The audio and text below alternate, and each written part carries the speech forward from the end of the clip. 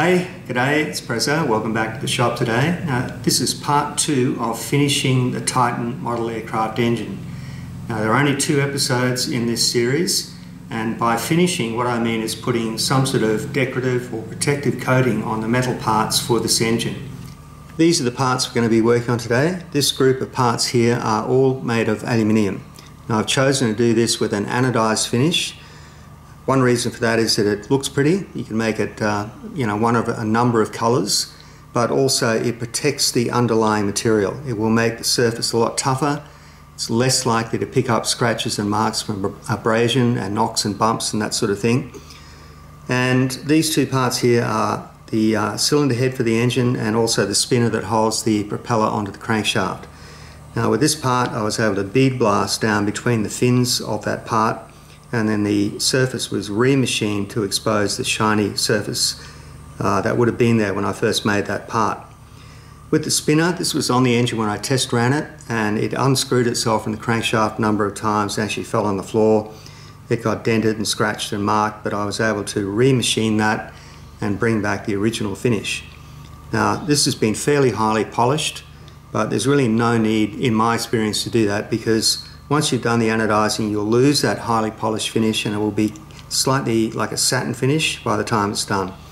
Now these are all parts of the fuel tank. So this is the tank body, the end cap and the bulkhead mount that fits up against the back of the display stand. And these are parts of the fuel filling and delivery system. So again, we'll do all of those with anodizing. Now these three bolts here are made of steel. Now they're actually machined from one of these bolts here. Now this is a real aircraft engine bolt or airframe bolt. They're made of a high strength alloy steel, but they're not stainless steel. I've been able to test this. It is magnetic. It might have a certain amount of chromium or nickel in it, but certainly not, it's not a regular stainless steel. Now I polished up the head of that bolt just to see what sort of finish was on it because these are probably around about 20 to 30 years old and they've never corroded. So I suspect that that's had either a zinc coating on it, like a zinc plating or some sort of cadmium plating. So with these bolts here, they'll corrode over a period of time. So what I've decided to do with these is zinc plate them and put them into a blue chromate dip.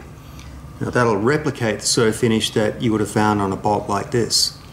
Now these two parts here, uh, copper and brass, and I could leave them like that, but they will eventually go dull after a period of time, so I'm going to do those with a nickel plate. So that's what we're doing. I'm going to get all of these parts clean now and ready to go on and we'll do the anodizing first. Now I was going to do a full video on anodizing these Titan parts and then I realized that I've already done it. So I made a playlist some time ago called Metal Finishing with Mark. There's a link up above there now. If you go and check out that playlist you'll find a video on anodizing and it's called Anodizing 101. So that's a step-by-step -step process, uh, different parts but the same procedures. So in this video, all I'm going to do is just show you a montage of the steps I went through to do the Titan parts, but I'm not going to go into a lot of detail right here and now. So the first step in any of these metal finishing processes is to make sure that your parts are absolutely clean. So I begin by putting the parts through my ultrasonic cleaner. They're in a solution of simple green, commonly available, it's easy to get and that's really good for removing oil and grease and wax out of any of the threaded holes that are in that part. Now you've got to get the contaminants out of those threaded holes because they will leach back onto the surface and you'll end up with sort of like white rings around any of those threaded holes. From there the parts go next door into my sink and they're rinsed and then they're scrubbed. Now you can scrub it with the same product, that simple green. I've got another product called Jane Kits Parts Wash and it basically is a, like an industrial strength detergent or an alkaline detergent. Now, it does a pretty good job, but as you see later on, I had a problem with it. Uh, I used a simple green as well, and that sort of solved my problem. From there, we need to make sure the parts are hung onto a wire. Now, you can use either aluminium wire or titanium wire. Now, I use both. The aluminium wire is good because it's soft and you can screw it into a threaded hole just jam it in there and you can make sure that you get a good electrical contact. The titanium is good because it's springy. So you can fold it into a sort of a U shape and jam it inside a bigger diameter hole and it will spring out and hold that part with a good electrical contact again. From there, they go into a bus bar. So this can be an aluminium or copper bar.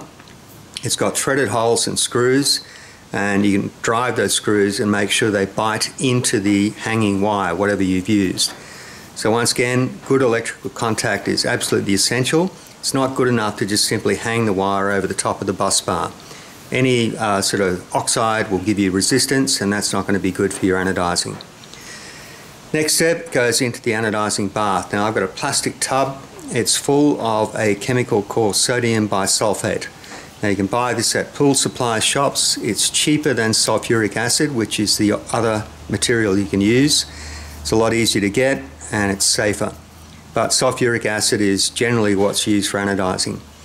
Now the parts are just simply lowered into the tank and connected up to your power supply.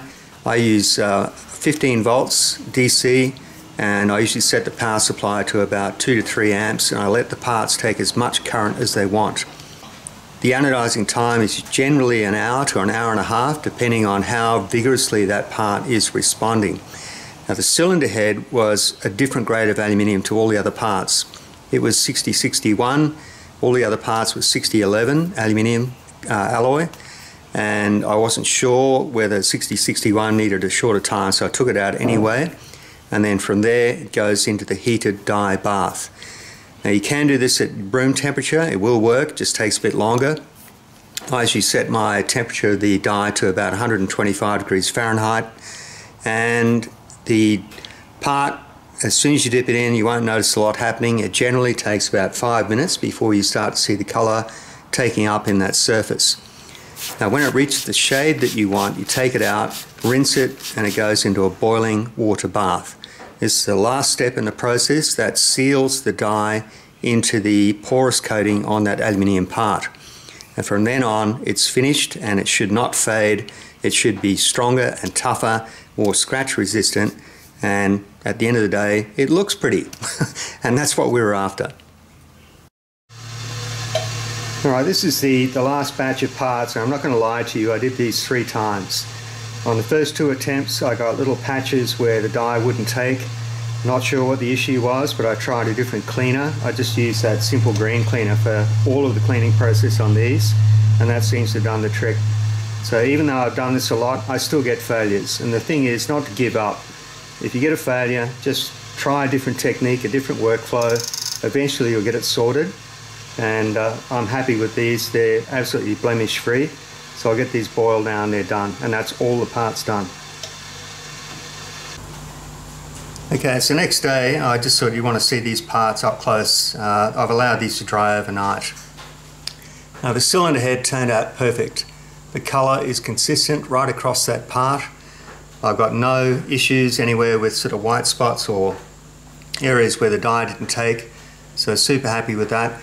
This part is made of 6061 aluminium alloy.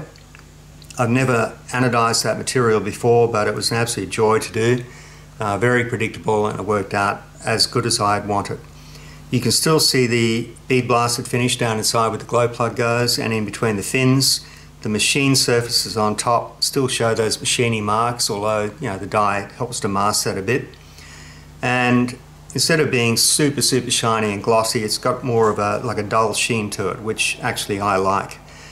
So that one turned out great. Now all of these other parts were made of 6011 aluminium.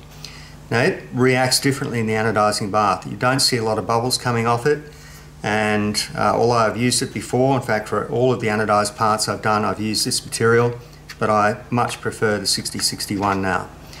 So the spinner turned out great. Uh, this one was done a total of three times and I know the problem now. It was the parts cleaner that I was using.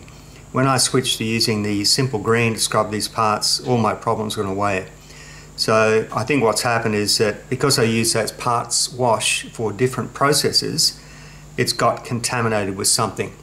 So I won't be able to use it for anodizing. It still seems to work okay for stuff like um, the parkerizing process.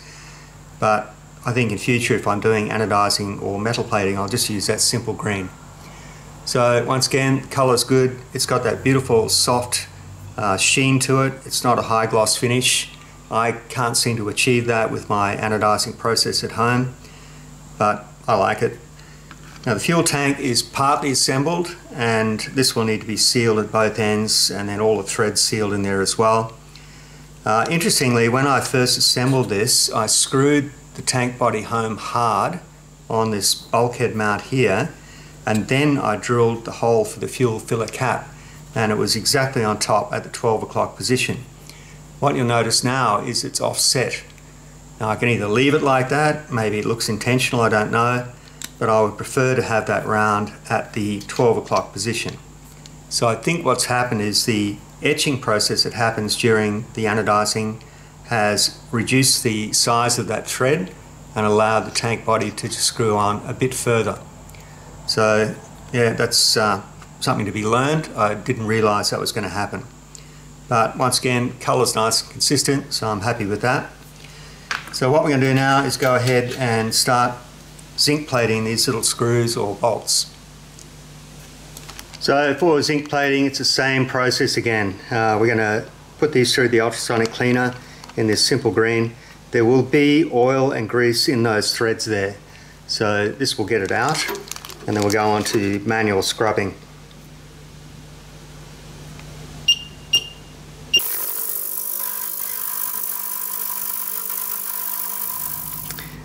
This is what I use for doing my zinc plating at home here. So I've got a 5 litre plastic tub. I've got 4 litres of a zinc plating electrolyte in there that I purchased. I know you can make it yourself, but I bought this stuff. And I've got two zinc anodes, once again, which I purchased. And they're hanging on the side of the bucket and they're hooked together with a loop wire. Positive of the DC power supply goes to the anodes and the negative goes to this bar on top here, copper bar and we're going to set the voltage at 5 volts. From what I understand, the voltage is irrelevant, uh, you know, within reason. Between 5 and 12 volts is fine. It's the amperage you've got to watch. Uh, I've been advised that you just start off with the amperage low. When you can see the zinc being deposited, you crank it up a little bit more and you should see a fine stream of bubbles coming off the parts. Okay, I've got each of the parts hanging on a copper wire and it's just looped around the threaded section there. It's really the head of the bolt that I want to uh, have, you know, zinc plated and this probably this end of the bolt here. So the rest in the middle is not so critical. Uh, what I did was I took the parts next door and I scrubbed those in the sink with a toothbrush and some of that simple green cleaner. And the connection between the part and this bar on top here is just hanging over the top of the bar. I wouldn't do that if I was anodizing. I'd have a screwed connection, but with zinc plating it seems to work. Okay, power supply is on. Uh, that's 350 milliamps going through those parts. And already I can see that changing color. So it only takes uh, like five minutes, 10 minutes to get a reasonably thick zinc coating. So this one in the middle here, you can sort of see there's a fine stream of bubbles coming off and they're sort of going a, uh, like a dull gray now. Now, for some reason, I cannot get these parts come out super, super shiny. Now, I've seen people do this uh, on YouTube and the parts come out looking like chrome plate. I never get that. I don't know why. I find it's not a problem though. You can just give that a light scrub with steel wool and they'll come back looking shiny. This is a part that I did. This was made of brass and that's what it looks like after you scrub that with steel wool. So that's a level of shine that I'm happy with on these parts. Seems to be fine for what I do and we're going to do another process on this when we're done. We're going to dip this in a blue chromate dip and that will give it an added level of protection. Now again I've already done a video on this process and it's in my playlist called Metal Finishing with Mark. I'll put a link up above there now so if you want to see more detail about the zinc plating process you can go there and have a look. But I'm going to give these parts about another five maybe 10 minutes and then we'll take them out and give them a scrub see how they look. Okay, they've had about 10 minutes. And like I say, they come out looking a bit dull and a bit grey, but that's all going to go away at the next step. So I just gave them a quick rinse in some clean water, and all we need to do now is just give, give each part a bit of a scrub with the steel wool. Now, of course, these are a bit awkward to do. But you'll see a shine starting to come up on that zinc coating. Okay, they're starting to come up with that sort of a shine that I want. It's going to take a while though, because these are just fiddly parts. So I'll do this off camera and then we'll go next door and we'll do the final step, which is an activation and then a chromate or passivate dip. Okay, there's one of the bolts that I've scrubbed with the steel wool. You can see it's got that sort of a medium shine to it. And the next two steps are very, very simple. We're going to put this into a solution called Metex IT Pre-Passivate Dip. And what this does is just activates the zinc coating and then from there we'll rinse it and it goes straight into the blue chromate dip or blue passivate they sometimes call it. So just rinse that in water and then we'll put it in the blue dip and you leave it in there for about 30 seconds and then just hang it up to dry. Now I've also got a gold and a black dip for zinc. The gold looks a bit like cadmium but it's a lot safer to apply and the black just gives you that like almost like a black oxide finish that you'd see on steel parts. Alright so that's had enough time now we're just going to hang this up to dry. We'll have a look at it later. Well, this is the last process I have to do. So I'm going to nickel plate the brass dome nut that goes on the end of the fuel tank and also the copper fuel tube that comes out of the tank. And I've got basically the same setup that I use for zinc plating. The only difference being that we now have a nickel electrolyte in the tub and I've got nickel anodes hanging off the side of the tub here. They're in stainless steel baskets other than that, electrically everything's the same. I do have to heat the bath though to a high temperature, about, about 130 degrees Fahrenheit. So that's heating up now. And I put a test part in here to see how it was going to go. Now that was a brass union nut, which is now nickel plated.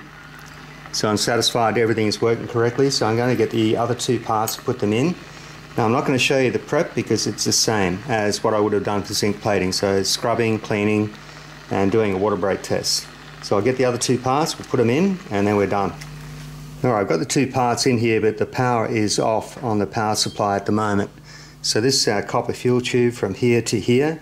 I've just jammed a bit of copper wire inside it. And this is the little tiny dome nut. And I've just put a three millimeter screw in there. And actually that, even though the power's off, that's already started to plate. Uh, that was brass. That's interesting. I didn't know that could happen. But unless there was some residual power in the power supply. But um, yeah, that's that's very interesting. Anyway, I'm going to turn the power on now. We'll see how we go.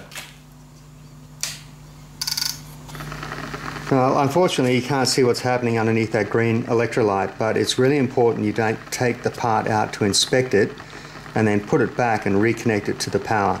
If you do that, you can get issues with delamination of the plated layer at a later stage. So you've got to resist the urge to have a look and just be patient. I'm going to leave it for about three to five minutes.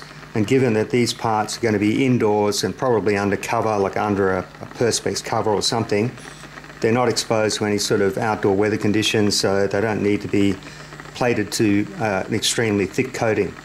So uh, They'll be done now. If I took them out now, they would be shiny and silver, but we'll just leave it a bit longer. Okay, let's have a look. So here's our fuel tube. That's looking great. And let's have a look at our little dome nut. And they're both done. So I'm going to rinse these now and they may just need a, a very light buff with a soft cloth, but essentially they're completed. I'll just show you these nickel anodes that I used today. So there's five of them in a stainless steel basket and I bought these from Jane Kits. You can also buy a nickel cobalt anode. Now if you use nickel in this electrolyte the colour that you get is more of a golden like gold chrome, a very slight gold tint. If you use nickel cobalt it's closer to traditional chrome plating so it's more of a bluey bright colour Depends what you want. I think the uh, nickel is more retro looking, it's slightly warmer. But if you're after that sort of uh, really, really bright chrome, use the nickel cobalt. There's a little dome nut, and it's a nice contrast against the anodizing. And there's our fuel tube. Now it'll fit in further. I've got to bend that to fit around the rod in the center of the tank. So we'll only see about half of what you can see exposed there now. And there's our three hex-headed bolts. Now, where I wrap the copper wire around to hold it on the bus bar, it hasn't quite uh, made as neat a job there. There's still zinc on it, it's just contaminated a bit from the copper.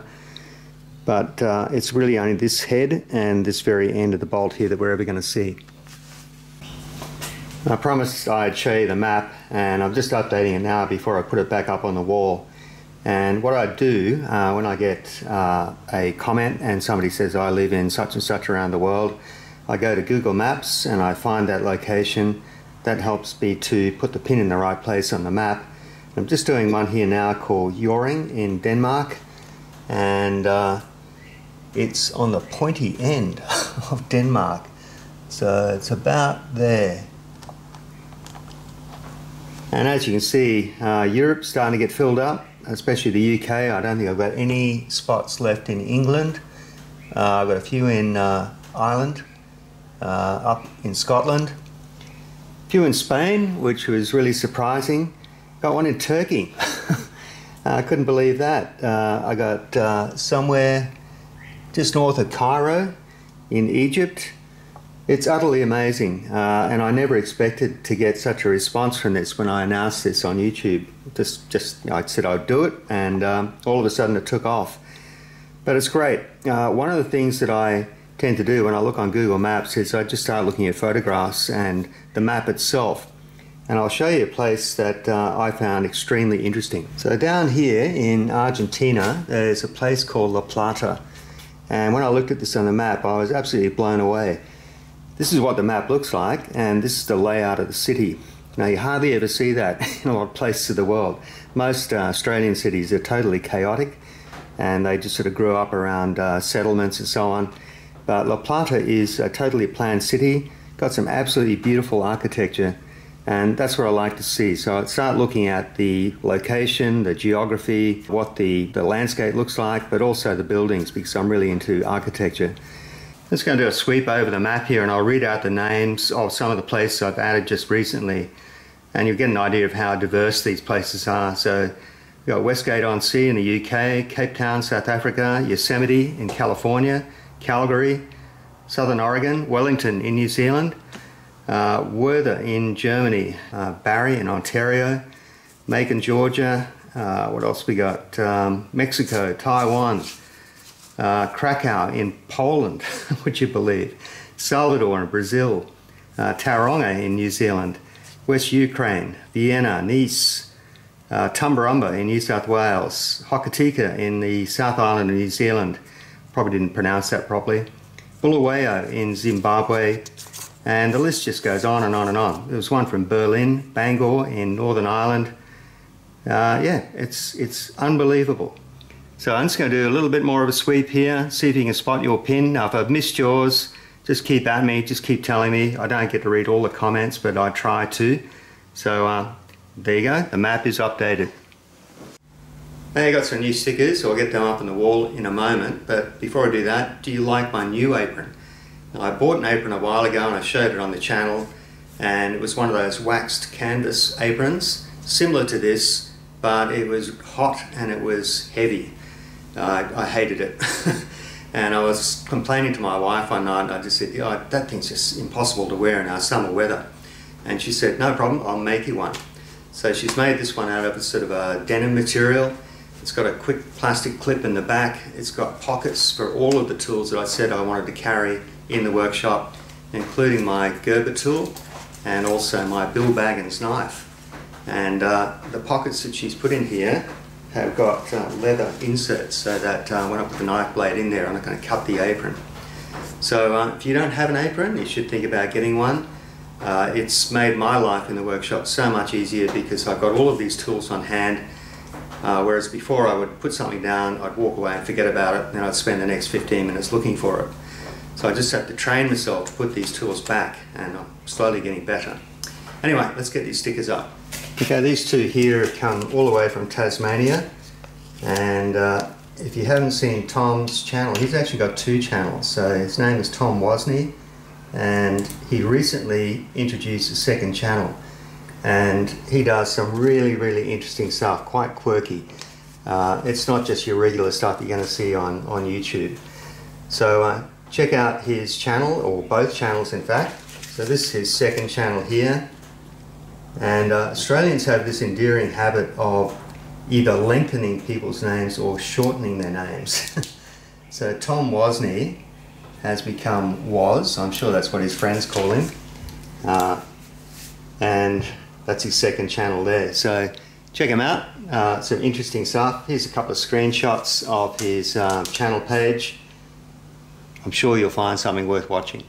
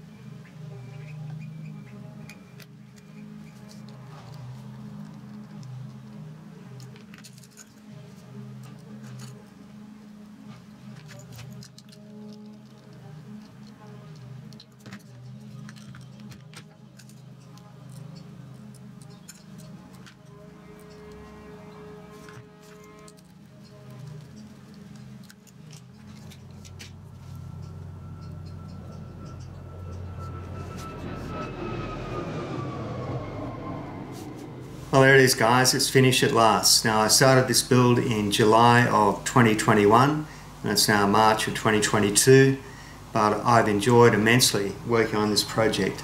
It's taught me some new skills and helped me to refine some of the skills that I already had. Now, the engine's not staying with me, it's going back to California in a few days' time. I'm sending it back to Roger Taylor, who sent me the castings initially, and I've asked Roger if he can possibly get a photo of the engine with the designer George Genevro and possibly his son Bill. Now he's going to try to organise that for me and I want to do a follow-up video when it finally gets back to California and just show you that it did actually get there. Uh, I do believe that the Joe Martin Museum of Craftsmanship is organising to have this put on display. They've asked me if they can sample some of the videos that I've done and they're going to have a like a super cut of the entire build series with the exhibit and then people who go along can press a button and see a shortened version of some of the build of this engine. So that totally blew me away. I wasn't expecting that at all. But if it does end up there, uh, that's that's going to be fantastic, and I it means I'll have to go to California now to have a look at the museum. now I didn't mention it at the time, but this propeller that I've got on the engine at the moment came from uh, a person who helped me with this build. Now he supplied the fuel for the engine given me a lot of advice, uh, not just on this project, but on another project that's coming up. Now I'm going to give you a very sneak peek of that project, and you're going to see that episode next. So uh, tune in for that one. It's model engine related, but it's not a new build, it's going to be a restoration. But uh, Colin supplied this propeller, and uh, the propeller I bought for the engine originally had a very small hub on it, and it didn't match the diameter of the spinner now Colin went through his box of uh, used propellers and he found this one here. It was originally 13 inches in diameter. I've cut it down to 12 inches. I stripped it and refinished it and got the wood looking nice and neat and new again. It's had new tip markings put on it and I put these custom designed uh, decals on the propeller.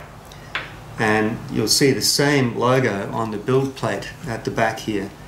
So uh, that was just a little bit of an afterthought which I didn't document in the original build video.